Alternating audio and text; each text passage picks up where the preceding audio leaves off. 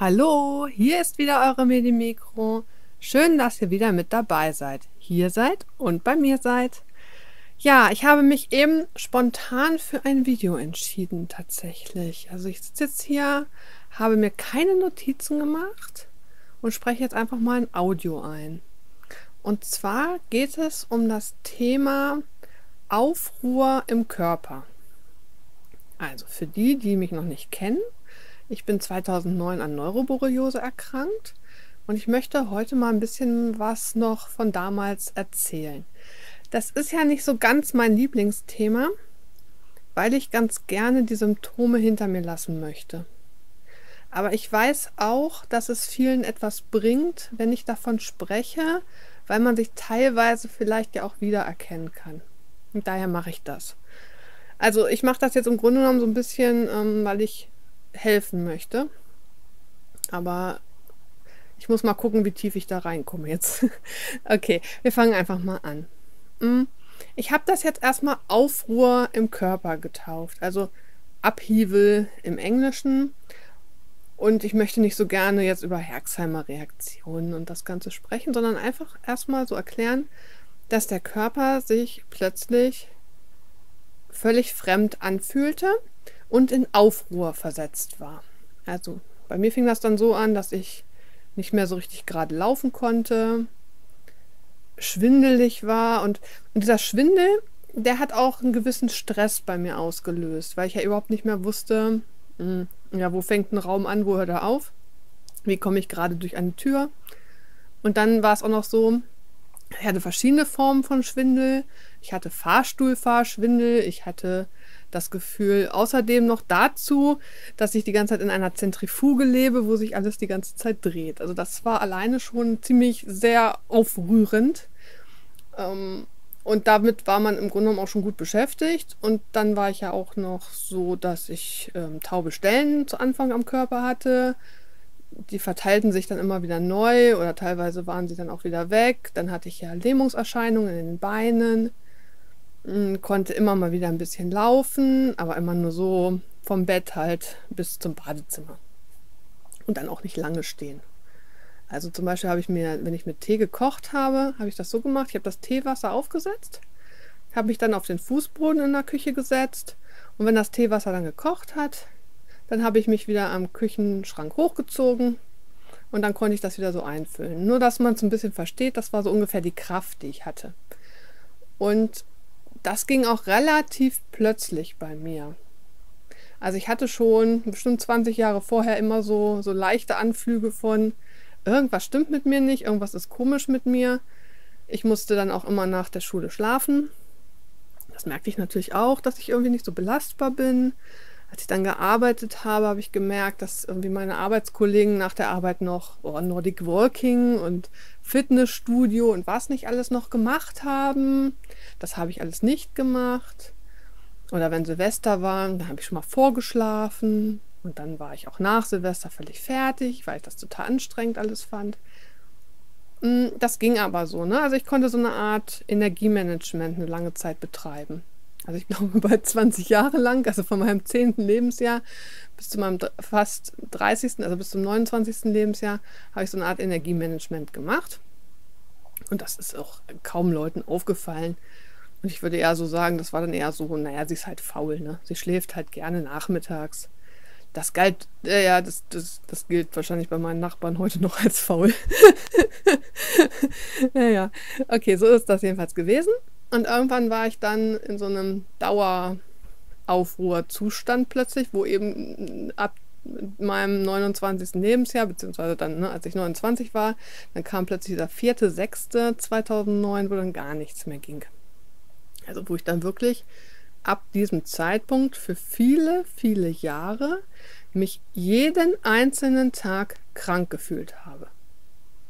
Und das war mir vorher eben auch nicht klar. Ich kannte schon den Begriff Borreliose, aber dass man sich so schlecht dabei fühlt, das war mir nicht klar. Also ich hatte mir das so vorgestellt, da hat halt jemand mal irgendwie ein bisschen Gelenkschmerzen. Ja, ich hatte auch schon gehört, dass man mal einen gelähmten Arm haben kann oder sowas. Ähm, eine Freundin von mir hatte mir das erzählt, was, dass ihre Mutter das halt hat. Aber Ja, gut. Dann muss man sich ja nicht so schlecht dabei fühlen. Ich dachte, dann geht der Arm, aber man ist weiterhin geistig klar. Ähm, dass dann plötzlich auch sowas wie Gehirnnebel auftritt, dass man keine Zahlen mehr tippen kann, dass man Schwierigkeiten hat zu schreiben, diese ganze Koordination des Schreibens plötzlich schwierig wird, das Koordinieren der, der Beine, des Laufens, Treppe runter, wann spanne ich eigentlich einen Muskel an, wann entlockere ich den Muskel wieder. Ja, das war mir eben nicht so klar, ne? Da bin ich dann eben so, so reingerutscht. Aber ich glaube auch, dass, dass die meisten Menschen das vorher, vor der Borreliose, nicht wussten, wie blöd das dann ist. Und dieser, dieser Aufruhr eben, das Schwierige an dieser Borreliose ist ja, dass man sich im Grunde genommen jede Stunde anders fühlt. Im Grunde genommen könnte man auch sagen, jede Minute. Aber sagen wir mal, jede Stunde fühlt man sich anders. Das heißt, wenn jetzt zum Beispiel so Familienfeiern anstehen man, man kann auf einmal nicht mehr gut seinen Körper einschätzen. Also man weiß eben jetzt eben nicht, kann ich zum Beispiel mithelfen, ah, was weiß ich, äh, beim Bedienen zum Beispiel. Oder ich habe das dann auch gemerkt, ich habe dann mal mit bedient, aber es wurde mir dann eben auch schon wieder zu anstrengend. Also jetzt in der richtigen Krankheitsphase, ne? dass ich dann zwischendurch auch mal ein bisschen mit bedienen konnte, zum Beispiel bei so einer Familienfeier. Aber dass ich dann gemerkt habe, boah, das wird jetzt aber anstrengend oder auch so schwere Platten tragen oder so, war mir dann wieder zu schwierig. Oder wenn man dann auch merkt, man kann die Hände gerade gar nicht richtig fühlen, ist jetzt blöd, irgendwas zu tragen, weil es könnte ja runterfallen. Aber dann wirkt man ja schon wieder faul, ne? Wenn man dann solche so, so, so Ausflüchte hat. Naja gut, also man, man kann plötzlich nicht mehr richtige Zusagen treffen. Also man kann nicht mehr gut sagen, ja, ich komme dann zu der Feier oh, und ich bleibe da so lange, wie ich lustig bin und, und ich fahre und ich kann alles. Ne? Also das ist dann, man wird eben für die Gesellschaft ein bisschen untragbar. Ich erinnere mich auch an eine Sache, da war ich mit einer Freundin verabredet. Das war, das war im Grunde genommen aber noch ein halbes Jahr bevor ich so krank wurde. Aber da fing das eben auch schon an. Da war ich ähm, verabredet, bin nach Braunschweig gefahren, das sind so 40 Kilometer. Und sie hat für mich gekocht. Das ist eigentlich voll peinlich. Sie hat für mich gekocht und mir war so schlecht und mir war so schwindelig und mir war alles. Ich weiß jetzt nicht genau, ich glaube, bin so nach 30 Minuten wieder nach Hause gefahren, was mir so schlecht ging. Aber so, so, keiner wusste eben, was ich da so richtig habe. Und dann ging es ja wieder besser. Und naja, gut, okay. Aber wie gesagt, dann, dann als ich so ähm, richtig krank wurde, ab dem 4.6.2009, da war ich ja dann jeden Tag krank. Da konnte ich dann eben nicht mehr irgendwie. Ähm, es verstecken. Da war wirklich, da war ich ja dann auch in mehreren Krankenhäusern. Naja gut, also ich war in zwei Krankenhäusern, aber ich war mehrmals in diesen Krankenhäusern. Und ja, man hat halt dann auf einmal ein neues Hobby gehabt. Das sage ich jetzt ein bisschen lustig, aber ich meine, das, ähm, ja, wie gesagt, ich will energetisch da jetzt nicht so total einsteigen. Hm, für mich war es vielleicht ganz gut, dass ich sehr, sehr müde war. Ich habe auch teilweise vieles gar nicht so richtig mitbekommen der starke Schwindel hat dafür auch nochmal gesorgt, dass ich gar nicht so richtig äh, mehr vernünftig lesen konnte und, und, überhaupt noch was mitbekommen habe. Also es gab auch eine Phase, wo ich jetzt eigentlich auch ein bisschen, ja, so die Erinnerungen sind nicht so ganz deutlich für mich. Ja, und ähm, es war eben, keiner, der Erste konnte mir sagen, ob ich nochmal gesund werde, wann ich wieder gesund werde. Und ähm, ich bekam dann ja Antibiotika-Infusionen Gott, wenn Gott, die mich jetzt nicht kennen, die fallen wahrscheinlich jetzt um, aber ich hatte dann letzten Endes äh, viereinhalb Jahre Antibiotika-Infusion. ich glaube, für die meisten, die fallen dann immer um, wenn die das jetzt hören. Und die in der Borreliose-Szene, ich kenne viele, die hängen 25 Jahre an einer Infusion. Also für die ist das jetzt wahrscheinlich wiederum auch, naja. ja, aber teilweise auch mit richtig viel Gramm ähm, Antibiotika ne, in der Infusion oder ich habe auch Phasen, dass ich morgens Doxycyclin-Infusion hatte und abends ähm, Ceftriaxon mit Cefotaxin. War das genau. Ja, ist auch egal, was das jetzt war. Es war auch immer nur so ein. Also jetzt mal ähm, für, die, äh, für, die, ja, für die Biologen meinetwegen, aber für die Mikroskopieren wollte ich sagen. Es ist halt so, man verdrängt halt alles in die Zystenform, man hat ein bisschen mehr Ruhe, man kann wieder ein bisschen besser Auto fahren. Äh, ja, ich konnte halt auch wieder ein bisschen mehr spazieren gehen. Arbeiten war nicht möglich. Auch, vor allen Dingen auch nicht unter der Antibiotikakur. Also ich fand das super anstrengend. Ja, manche können das, ich weiß. Aber ich war halt down. so, und dann konnte man halt wieder ein bisschen mehr. und so wie man aufgehört hat, Antibiotika zu nehmen, denn das geht ja dann doch irgendwann auch schon auf die Lebergalle, beziehungsweise dann die Niere, je nachdem, welches Antibiotikum man gerade nimmt. Oder auch meinetwegen auf den Darm, wobei ich das bei den Infusionen gar nicht so heftig finde mit dem Darm. Das finde ich eigentlich, da finde ich Tabletten eigentlich schlimmer. Na gut, auf jeden Fall denkt man ja, man will dann mal aufhören und wieder raus aus dieser Nummer. Und wenn man dann aufhört, dann werden die Symptome halt wieder stärker. Also einmal hat man halt die Herxheimer-Reaktion, wenn man mit einer Antibiotikakur anfängt, dass dann wieder zum Beispiel mehr Taubheit, mehr Lähmungserscheinungen, mehr, mehr schwache Beine bei mir auftraten. Aber wenn ich dann aufgehört habe, Antibiotika zu nehmen, war es auch nicht viel anders. Dann haben auch die Borrelien gemerkt, dann nach ziemlich kurzer Zeit, oh, es geht wieder los. Ja, und dann würde ich gerne noch dieses, dieses Phänomen beschreiben, mit dem Supermarkt, weil ich ja gesagt habe, wir reden heute so ein bisschen über diese, diese Aufruhr des Körpers. Wenn man so anfängt, krank zu sein, dann denkt man, man nimmt jetzt etwas und es geht immer aufwärts. So habe ich das jedenfalls gedacht. Und dann kann man irgendwann auch wieder in den Supermarkt. Und alle um einen herum und so sind auch total fröhlich, dass das jetzt wieder klappt. Man selbst ist total, also als ob man irgendwie oh, was ganz Tolles erreicht hätte. Man hat es geschafft, den Supermarkt zu überstehen. Und es ist aber so, also erstmal dieser Supermarkt, das ist eben, ich spreche heute, ähm, weil ich ja nun seit, na, mindestens seit sieben Jahren, aber im Grunde noch länger, mich mit Leuten darüber unterhalte, die eben unter Borreliose leiden. Das Thema ist echt oft Supermarkt. Supermarkt ist voll das häufige Thema. Der Supermarkt hat verschiedene Stressfaktoren. Erstmal eine gewisse Unberechenbarkeit. Man weiß nie, wer einem begegnet. Nee, soll jetzt nicht so psycho werden. Aber ähm, trotzdem ist es eine gewisse Unberechenbarkeit, zum Beispiel, wie lange man an der Kasse steht. Das ist zum Beispiel für jemanden mit Borreliose anstrengend, ne? wenn man nicht so, eine, so viel Kraft hat und nicht so lange stehen kann, dann kann es auch schwierig sein, eben lange an der Kasse zu stehen. Auch dieses aufs Band legen, wieder was vom Band wieder runternehmen, Geld bezahlen, auch das ist für Leute mit Gehirnnebel eine ganz große Herausforderung und vor allem, man ist das ja gar nicht gewöhnt, krank zu sein erstmal. Also man fängt ja, wie gesagt, man fängt ja als, also man ist ja eben noch gesund gewesen und auf einmal ist man krank und auf einmal ist man eben an einer Supermarktkasse und muss sich so als Kranker da behaupten. Und die um einen herum wissen ja gar nicht, dass man krank ist. Und man sieht ja meistens als Borreliose-Kranker auch nicht gerade irgendwie krank aus. Und das sind so, so Hürden einfach, dass eben diese ganze Geschwindigkeit an der Kasse, das kann Menschen schon ziemlich belasten. Dann höre ich von vielen, dass sie eben Schwierigkeiten haben. Ja, das Nervensystem ist ja entzündet, ne? Und dieses entzündete Nervensystem im Supermarkt, man hat da eben gewisse Lichtstrahler, man hat da meistens auch heute so ja so Funküberwachungskameras, die eventuell das Nervensystem stören. Und was auch ein Problem ist, ähm, sind diese Kühltruhen, die so brummen. Also auch der Borreliose-kranke Mensch, der ein entzündet, mit, mit entzündetem Nervensystem jetzt, ne, also ich beziehe das jetzt auf Neuroborreliose eben, der hat eben verschiedene Bereiche im Supermarkt, die er besser ab kann und wieder schlechter ab kann.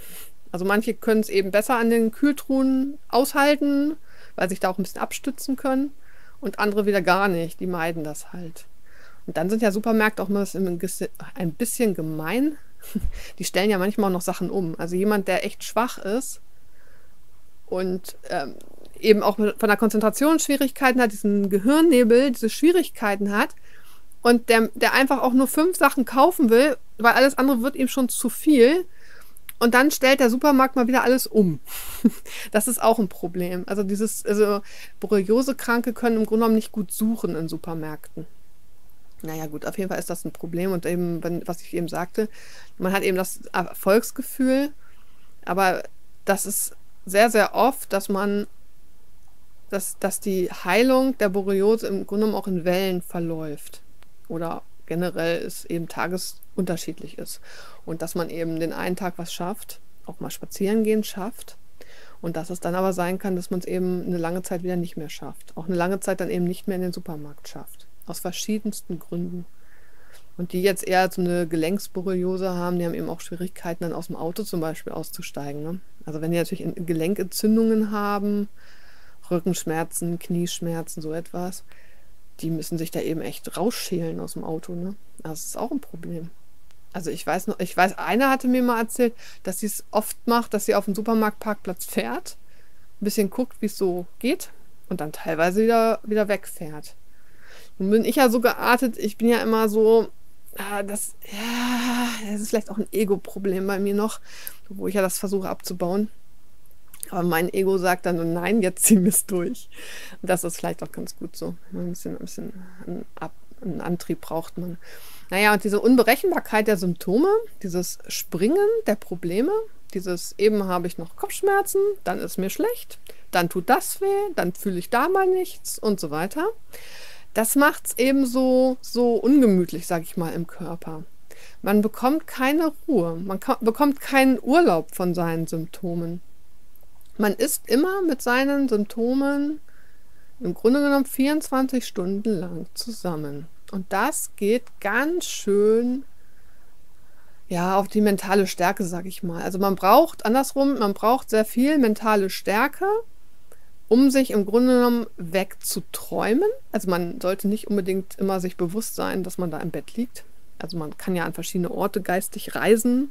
Also ich bin dann zum Beispiel mal geistig spazieren gegangen. Ich dachte, das ist auch gut, dann, dann weiß mein Körper irgendwie ja noch, wie man läuft. Also ich habe mir richtig vorgestellt, wie man läuft. Also man kann sich irgendwie wegträumen. Und ansonsten muss man sich extrem motivieren, dass man wieder gesund wird aber extrem. Also wirklich und ganz liebevoll mit sich umgehen, sagen, ja, das ist jetzt, also immer, immer erstmal annehmen. Das, das hilft auch. Das hilft so ein bisschen der Seele, finde ich immer, wenn man sagt, okay, es ist jetzt so. Heute ist es jetzt so. Heute können wir es nicht mehr ändern. Heute zum Beispiel können wir nicht auf den Geburtstag. Heute können wir meinetwegen auch nicht in diesen Supermarkt. Heute haben wir Schwierigkeiten, selber alleine zum Arzt zu fahren. Das ist jetzt so. Das muss man akzeptieren. Da, da geht dann auch kein Weg dran vorbei, wenn es eben nicht geht. Aber gleichzeitig zu sagen, aber ich versuche es zu ändern, ich überlege mir was Neues, ich überlege mir eine neue Strategie, ich probiere aus. Und dann hilft es auch immer ein bisschen, sich was aufzuschreiben, was so geholfen hat.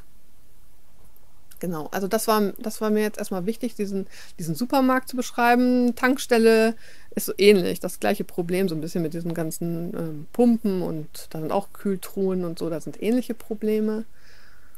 Und dieses eben mit sich und den Symptomen 24 Stunden lang zusammen zu sein, das macht eben auch Partnerschaften dann total schwierig. Weil es ist dann eben nicht eine, eine Zweisamkeit, ne, der eine Partner mit dem anderen Partner, dann haben wir mal eine Ehe.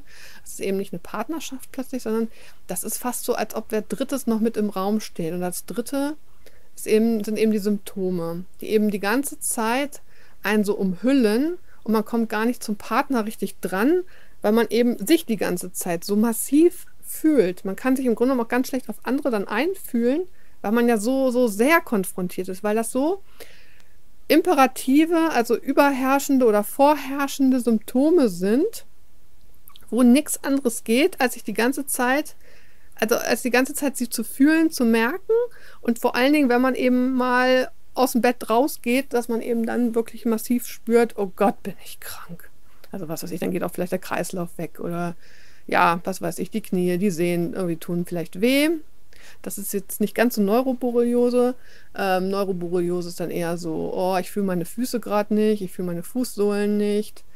Schön ist auch immer beim Autofahren, wenn man die Fußsohlen nicht fühlt, dann dann bremst man irgendwie, man merkt auch, dass man bremst, aber man fühlt irgendwie gar nicht mehr das Gaspedal.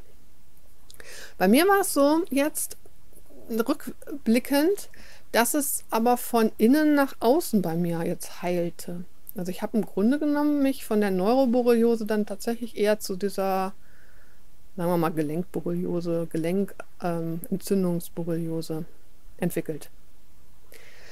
Nun stellt sich so ein bisschen auch immer die Frage, wie kommt es eigentlich zu diesen ganzen Symptomen? Also warum springen die? Also es ist ja, erstens hat man ja nicht nur eine Borreliose, sondern äh, eine Borrelie, also ein Bakterium hat man ja nicht nur im Körper, sondern wahrscheinlich ein paar Millionen. ist jetzt für die Vorstellung nicht ganz so schön, aber ich gehe davon aus. Auch wenn man das jetzt wahrscheinlich gerne hört. Aber es sind ein paar, es sind, es sind ein paar. So ein Nein, ich sag jetzt, nein, nein, nein, nein, ich sag jetzt auch nicht noch Bilder dazu, ihr sollt euch das nicht so ganz arg vorstellen, aber es sind, das sind mehr als drei Borrelien in eurem Körper. Das heißt, ähm, es ist jetzt nicht so, weil ihr eben noch ein, ein was weiß ich, einen Schmerz im Trigeminusnerv habt und plötzlich tut euch der kleine C weh, die sind ja nicht ganz schnell darunter geflitzt. Ja, das ist nicht so. Also das, glaube ich, kann man sich vorstellen. Ja, also die sitzen überall. Ich zeige ja auch immer, dass sie im Blut sitzen und zwar in den roten Blutkörperchen. Aber das Thema, äh, ja, da gebe ich jetzt nicht so stark drauf ein. okay. Also die Borrelie hüpft ja jetzt nicht von A nach B und macht mal da ein Symptom, da ein Symptom. Es kommt es einem ein bisschen vor, so als ob man so kleine Trolle im Körper hat. So ist es aber nicht. Da reagiert also irgendwas anderes. Und was ich auch immer beibringe, und da geht es im Grunde genommen immer um Bakterien und egal um welches Bakterium und auch Viren letzten Endes und Pilze, lösen ja immer eine Immunantwort aus. Und die Art der Immunantwort, die fühlt man. Das ist eigentlich, ja, das kann man eigentlich als, als Gesetz fast sagen, wobei, das möchte ich noch einschränken, Ganz selten spürt man auch einen mechanischen Schaden. Einen mechanischen Schaden meine ich jetzt bei Würmern zum Beispiel, wenn die sich durch etwas durchfressen und durcharbeiten. Das ist also so ein physikalischer Schaden, den kann man auch fühlen. Also so eine Art Knabbern. Und man kann auch mal, aber das ist auch ganz selten, da sind wir schon bei Antrags, äh, wenn so eine Verstopfung von einem Blutgefäß stattfindet durch massives ähm, das sind so Stäbchenbakterien, das sind, also wenn die sich schnell teilen, dann kann das auch ein, auch ein Blutgefäß verstopfen. Aber physikalische Probleme treten eigentlich erstmal bei Bakterien nicht so wirklich auf, die man fühlt. Man fühlt meistens das Immunsystem. Und da ist es eben so, dass das, was sagte ich ja eben schon, dass das Immunsystem immer mit verschiedenen Strategien reagiert auf verschiedene Erreger. Das, ja, das kann man so sagen. Und was man eben auch fühlt, ist eine pH-Wertänderung. Also ein Nerv, wenn der eben ein, in seinem speziellen pH-Wert eingebettet ist, das ist eigentlich basisch, so im Bindegewebe. Wenn da sich eben eine pH-Wertänderung ja, zeigt, sagen wir mal, zeigt, ja, auswirkt, wenn da sich eben was verändert, weil da eben irgendwelche Sachen gespalten werden und so, dann tut der Nerv eben weh. Aber das ist jetzt keine Fraßspur der Borrelie, die daran rummümmelt. Das zweite ist, dass aber das Immunsystem natürlich auch auf Nervenfasern geht, wenn es eben was verwechselt. Und da sind Bakterien zum Beispiel auch sehr bekannt für, dass sie so eine, das nennt man eine Autoimmunerkrankung, das muss man jetzt aber, ich würde es eher so eine Art ähm, Immunsystemfehllenkung mal nennen. Oder Verwechslung eine Verwechslung des Immunsystems. Da hat jemand was verwechselt. Ja, also das sind so die, wenn da natürlich was angegriffen wird. Und das angegriffen heißt erstmal, da werden so wie Fähnchen dran gesteckt und danach kommt das, kommen so Fresszellen, nehmen wir mal Makrophagen. Das ist, also, das ist so eine veränderte Mono, ein veränderter Monozyt. Und dieser Monozyt, beziehungsweise diese Makrophage, würde jetzt zum Beispiel an, der, an dem Nerv fressen weil er eben, weil da eben Antikörper drauf gesteckt worden sind, wie so kleine Fähnchen. Dann hat er eben das, ähm, dachte er, ach Mensch, ich dachte, du bist fremd. Gut, das tut also alles weh. Und worauf ich aber hinaus wollte, lange Rede, kurzer Sinn. Also, ich wollte auf, die Mastzell auf das Mastzellaktivierungssyndrom. Das kursiert ganz oft jetzt so bei Ärzten und Heilpraktikern auf den Internetseiten. Oh, das klingt schon wieder so zynisch, das meine ich gar nicht so zynisch. Wobei, ja, so, da kommt natürlich gleich noch ein Nachsatz. Aber grundsätzlich ist es so, dass Mastzellen, das mache ich mal in einem anderen Video nochmal genauer. Aber Mastzellen geben ja bestimmte Mediatoren, sagt man, also bestimmte Stoffe ab, zum Beispiel das Histamin, aber auch das Heparin und noch ein paar andere Sachen, Prostaglandin und solche Sachen. Und diese Mastzellen können aktiviert werden durch Borrelien. Und wenn man aber die Studie liest, also es gibt so eine Studie, die, da steht in der Überschrift Mastzellaktivierung durch Borrelia burgdorferi. Wenn man nur die Überschrift liest, dann denkt man, oh Gott, das ist ja massiv, dass die Mastzellen aktiviert werden. Das ist aber in der Studie jetzt nicht so. Also wenn man dann genauer liest, ist es nur ganz, ganz, ganz, ganz bisschen. Das heißt aber nicht, dass es nicht doch mit dem Histamin zusammenhängt. Versteht mich nicht falsch. Es gibt dann noch einen zweiten Faktor und das sind andere Immunzellen, die eben auch Histamin produzieren können. Werde ich aber dann nochmal genauer, glaube ich, in einem anderen Video machen. Ich sage es trotzdem schon mal, damit ich jetzt nicht euch auf die lange Folge. Also, das soll jetzt kein. Ich will euch nicht anteasern, damit ihr das nächste Video guckt. Also, ich, ich enthülle es auch sofort. Also, die, die Neutrophilen und die Monozyten, die können auch bei Erregerkontakt Histamin herstellen und dann eben auch reagieren. Ich wollte das nur deshalb so ein bisschen differenzieren, weil ich ja eigentlich einen YouTube-Kanal habe, der sich um die Mikroskopie dreht. Und man kann das eben locker rausfinden. Also wenn jemand zum Beispiel sehr viele basophile Granulozyten hat, ich mache es jetzt nicht zu, ich erzähle das jetzt nur mal so runter, ich gehe da jetzt nicht noch spezifisch drauf ein. Wenn jemand sehr viele basophile Granulozyten hat, dann liegt das Mastzellaktivierungssyndrom sehr nah, weil dann hat er wahrscheinlich auch sehr viele Mastzellen. Kann man immer so ein bisschen rückschließen. Man kann natürlich auch das Gewebe nur das mikroskopieren. Also wenn da jetzt viele Mastzellen sind, dann können wir eher über ein Mastzellaktivierungssyndrom sprechen. Das sehe ich aber relativ selten. Ich denke, es wird sich eher um die neutrophilen Granulozyten drehen bei der Borreliose. Wie gesagt, mache ich nochmal extra. Worauf ich hinaus will. Dieses Histamin hat einerseits ganz gute Wirkungen. Der Körper macht ja nichts, weil er bekloppt ist, ne? Das sage ich immer. Also das glaubt nicht, dass ich denke, der Körper ist doof. Der muss sich irgendwann entscheiden, auch mal zu, äh, ja, zu attackieren, anzugreifen. Das muss er machen. Was soll er denn sonst machen? Also, der will euch auch helfen. So wie er euch aber helfen will, habt ihr Symptome, Schmerzen. Und Schmerz ist immer ein Zeichen für, guck da mal hin, da stimmt was nicht. Das ist das Zeichen von einem Schmerz. Das läuft auch über das Histamin. Also das ist dann, das sagt euch im Grunde genommen, da ist ein Problem. Ne? Und diese, diese vielen Symptome, dieses, dieses im, im Aufruhr sein, das wird unter anderem eben auch durch das Histamin gesteuert. Und deshalb mal so als, das ist nur so ein kleiner Tipp und ich bin ja kein Arzt, kein Heilpraktiker, also ihr müsst es ja nicht machen und seid, fühlt euch ganz frei, das auszuprobieren. Aber ihr könntet ja zum Beispiel mal, wenn ihr auch in diesem Abhiebel seid, in dieser Aufruhr seid und eure Symptome nicht unter Kontrolle bekommt, lasst einfach mal Nahrungsmittel weg, die Histamin enthalten. Lasst auch mal Kaffee weg oder nehmt Sachen ein, die ja so ein bisschen das Histamin senken. Gibt es auch verschiedene Möglichkeiten. Und dann kann man das ein bisschen ausprobieren auch. Ne? Aber das ist eben so diese, dieser Zusammenhang auch so ein bisschen, warum man eben, ja, warum man eben diese, diesen, diese Probleme hat, was man da fühlt und wie das kommt. Das macht natürlich jetzt noch keine Taubheit, aber das erklärt so ein bisschen diese, dieses, dieses im Körper sich nicht mehr wohlfühlen und dieses Unwohlsein.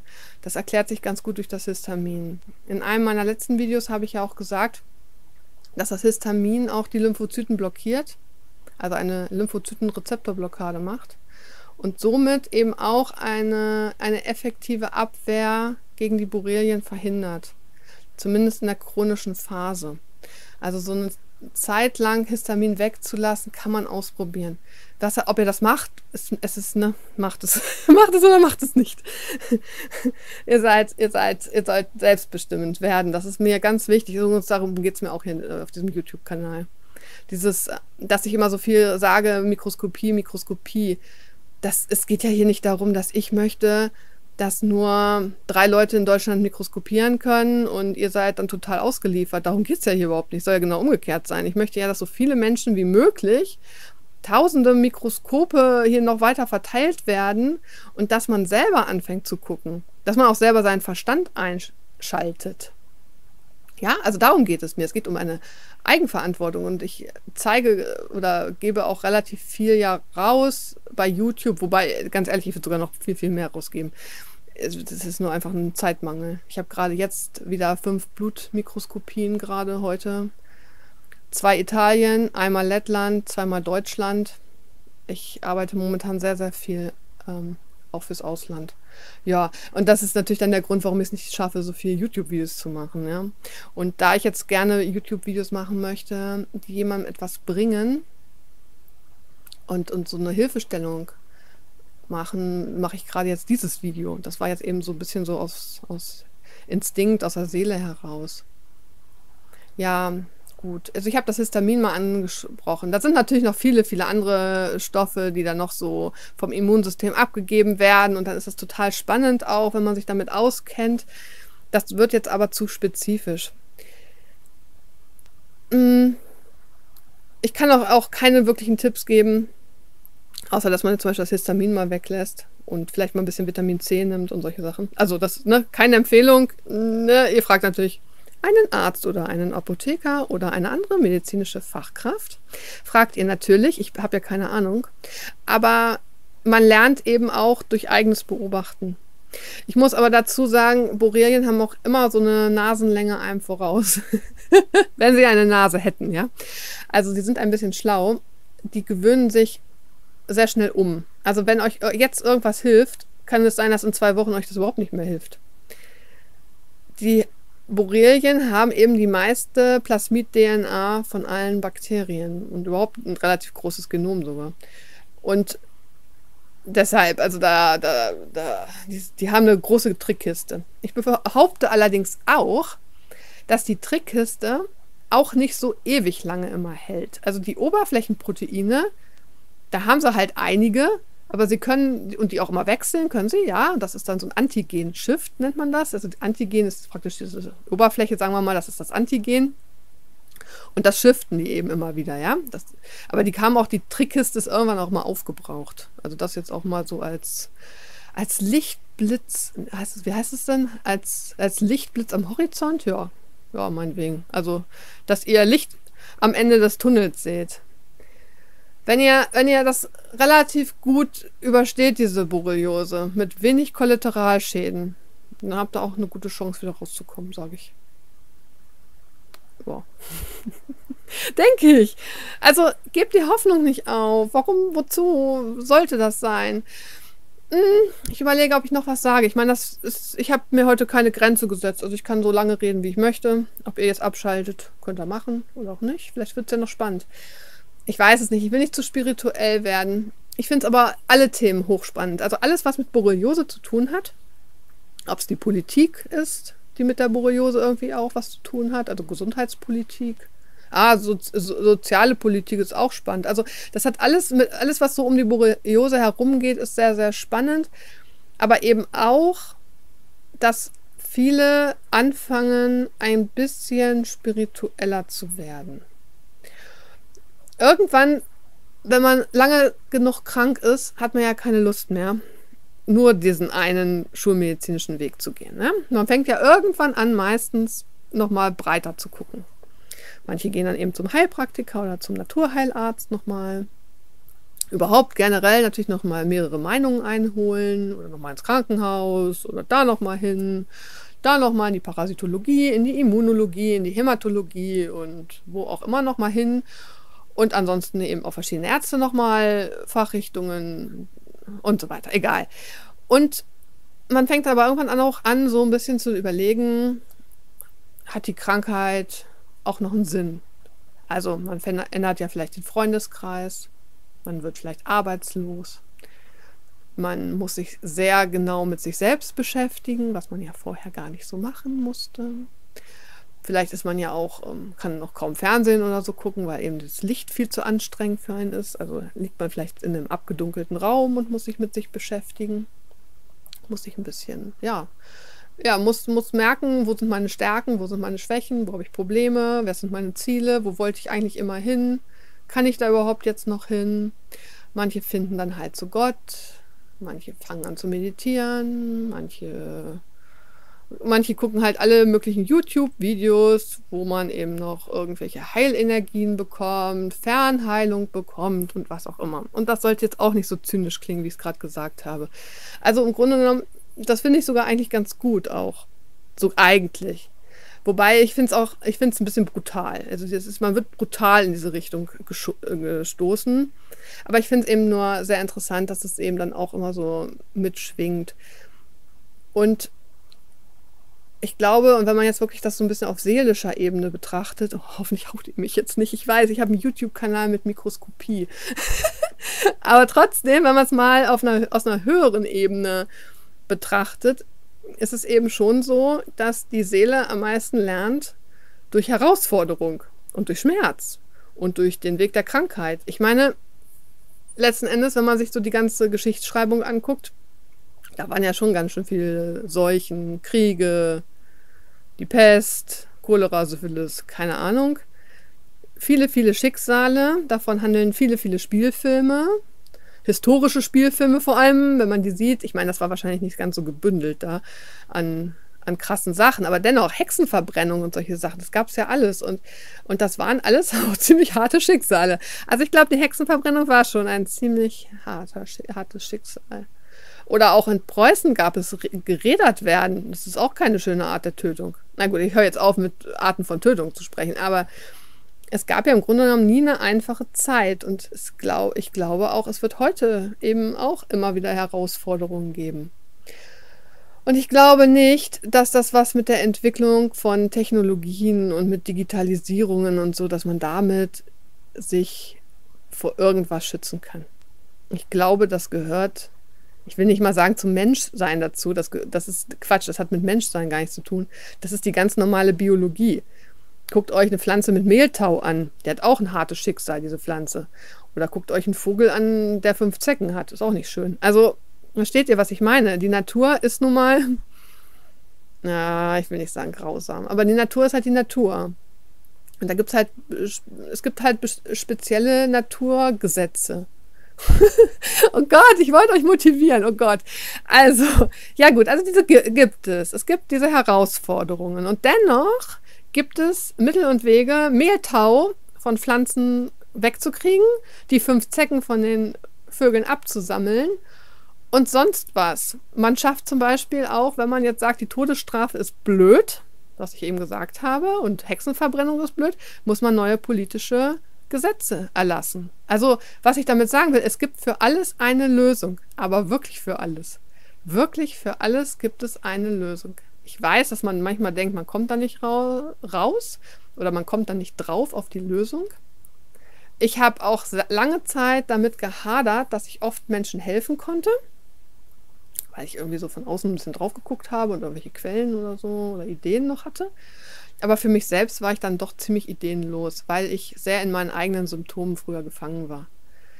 Wenn ich auf andere Menschen gucke oder auf Kaninchen oder so, dann habe ich immer so diesen, dann kann ich so objektiv gucken. Und wenn ich auf mich geguckt habe, habe ich immer das eine Symptom, was gerade schreit, im Vordergrund gehabt und wollte dieses eine Symptom am schnellsten sofort loswerden. Und habe dann oft das große Ganze nicht gesehen. Übrigens hat mir das dann, mir hat das dann so geholfen, mich, mir vorzustellen, ich wäre ein krankes Kaninchen und habe versucht, so objektiv wie möglich auf mich drauf zu gucken. Und eben auch nicht auf diese einzelnen Symptome, die ja eventuell, wie gesagt, durch, durch zum Beispiel eine Mastzellaktivierung oder durch was auch gerade oder durch irgendeinen enzymatischen Prozess am Nerv irgendwie, da wird irgendwas halt wie weggespalten, wie gesagt, dann kommt eine Säure, dann nervt der Nerv oder schmerzt der Nerv und dann hat man eben so ein Problem wenn man nur auf dieses eine Problemchen da gerade guckt, ist, Entschuldigung, das sind irre Schmerzen, mir ist das klar. Also Trigeminusnerv ist zum Beispiel das Schmerzhafteste, was es gibt, wenn der schmerzt. Aber trotzdem, ähm, wenn man jetzt zum Beispiel so einen Schmerz hat wie so ein Trigeminusnerv, das ist vielleicht ein ganz gutes Beispiel, das ist wirklich der schlimmste, böseste Schmerz, den man haben kann. Wenn man aber eine, eine grassierende Borreliose im gesamten Körper hat, dann darf man eben nicht nur diesen einen Nerv betrachten, sondern muss eben das, das große Ganze nehmen. Versteht ihr, was ich meine? Man muss auch, das ist wieder das, der Punkt, warum ich so gerne mikroskopiere, weil ich rausfinden will für mich selbst, ich darf nicht sagen für andere, habe ich nicht gesagt, ne? Aber ich möchte rausfinden, wo hier die Probleme sind. Mmh und wo das, wo der Hase im Pfeffer liegt, wo, wo das Problem herkommt, wo die Probleme herkommen könnten, wo auch für die Masse die Probleme herkommen könnten, wo aber auch, also für die Masse der Menschen, äh, wo aber auch vielleicht im Individuum das Problem ist. Denn jedes, jede Blutprobe, und das könnt ihr mir echt glauben, ist voll individuell. Ich kann jede Blutprobe auch mit einem anderen Menschen vergleichen, also mit irgendeinem Phänomen, mit irgendeinem Faktor kann ich das vergleichen.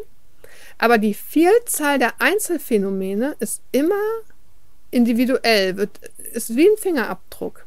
Das habe ich noch nicht einmal gehabt, dass ich gesagt habe, es ist komplett gleich. Es gibt Blutproben, die sich sehr gleichen, das gibt es. Auch manchmal, wenn Leute sehr lange zusammenleben, so Ehepaare oder so.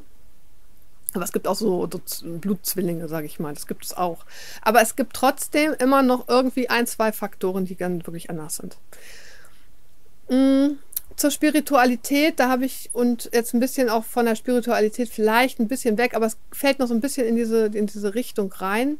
Es gibt auch noch diesen Faktor der Konditionierung. Da hat mich meine Freundin in letzter Zeit noch mal mehrfach drauf gebracht. Man konditioniert sich auch sehr stark. Und ähm, ich überlege gerade, ob ich da jetzt ein gutes Beispiel für hätte. Ich fange jetzt nicht an mit, mit, mit einer, nimmt eine Glocke und der Hund fängt an zu speicheln. Hm, es gibt so Untersuchungen zum Beispiel, dass man Menschen, Kochsalz, nee, nee, ich muss anders überlegen. Man hat Menschen Traubenzucker gespritzt. Jeden Tag. In den gleichen Arm, zur gleichen Uhrzeit. Und eines Tages, das war irgendwie so eine Studie halt, ne? Eines Tages hat man, das den Leuten nicht gesagt, und hat man anstatt der Traubenzuckerlösung Kochsalzlösung gespritzt.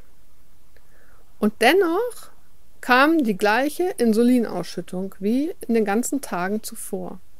Also hatte sich der Körper so genau dran, also der Körper wusste, ah, gleich kommt die Spritze, dann muss ich wieder Insulin aus, ausschütten. Habe ich ja gelernt in den letzten Tagen. Und diese Art der Konditionierung, die aufzubrechen, das ist auch nochmal ein riesen, riesen Schritt. Dem Körper neue Dinge beizubringen. Den Körper komplett zu entwöhnen von alten Mustern. Es ist eine riesen Aufgabe. Also das Beispiel ist ganz gut, glaube ich, weil im Grunde genommen bringt ihr eben auch dem Körper jetzt, sagen wir mal, mit einem Antibiotikum eben bei, was gleich alles passiert, dass gleich Borrelien absterben, das lernt euer Körper. Aber letzten Endes werden auch die Borrelien gewisserweise auf, auf Sachen reagieren können. Auch die Borrelien sprechen sich ja ab und andere Bakterien natürlich auch. Also alles reagiert und alles lernt und die lernen scheinbar ziemlich schnell. Gut. Ich wollte das wenigstens mal angesprochen haben. Da muss jeder aber für sich selber reinfühlen, sich selber beobachten und überlegen, ob er zum Beispiel immer mal wieder Dinge anders macht. Und da vielleicht noch ein ganz kleiner Minitipp. Vitamine wirken am aller, aller, allerbesten, wenn ihr richtig, richtig Hunger habt. Dann ist euer Körper bereit, alles aufzunehmen alles richtig gut aufzunehmen. Also ihr versucht, also wenn ihr das könnt irgendwie, müsst ihr, ne? ich sag jetzt, das wollte ich nur mal so, nur mal so reingeben. Wenn ihr also könnt und ihr habt richtig, richtig Schmacht, dann, dann Vitamine nehmen und auf gar keinen Fall Sachen mit Schwermetallen und so, weil die nimmt euer Körper dann auch gleich noch mit dankbar an. Also dankbar in Anführungszeichen. Erstmal dankbar und danach sagt er, äh, was hast du mir denn da äh, zu futtern gegeben? Ja, Okay, also jetzt habe ich, glaube ich, lange genug gesprochen. Ich wollte viele, viele Impulse heute mal reingeben.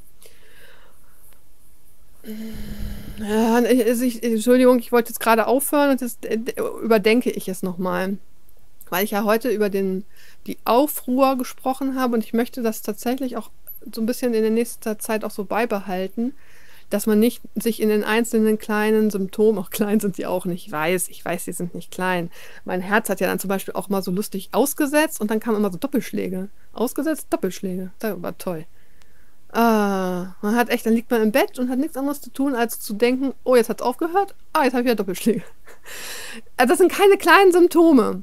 Was ich trotzdem damit meine, diese ganzen, ganzen einzelnen Symptome, die machen einem Angst, die machen einen unruhig. Man, man weiß nicht, ob man irgendwem noch zu einer Party zusagen kann, wie es dann wieder ist, ob man das und das kann oder ob man das und das nicht kann. Man weiß es eben nicht. Und das würde ich als gerne als Aufruhr bezeichnen und eben nicht die ganzen Symptome einzeln auflisten. Das bringt es eigentlich nicht. Weil diese Aufruhr kann überall stattfinden und bringt eine gewisse innere Unruhe eben komplett, ja, bringt eben eine Unruhe in, in einen hinein. Darum ging es heute. Ja, und so ein bisschen um meine eigenen Erfahrungen und was ich so mitnehme, wenn ich mit manchen spreche. naja, ich, ich, also ich, ich bin jemand, ich höre sehr genau zu. Also ich spreche jetzt nicht ständig mit Menschen am Telefon, immer ja, ein paar Mal in der Woche, aber nicht so total viel. Ne? Ich muss ja in meiner Kraft auch bleiben.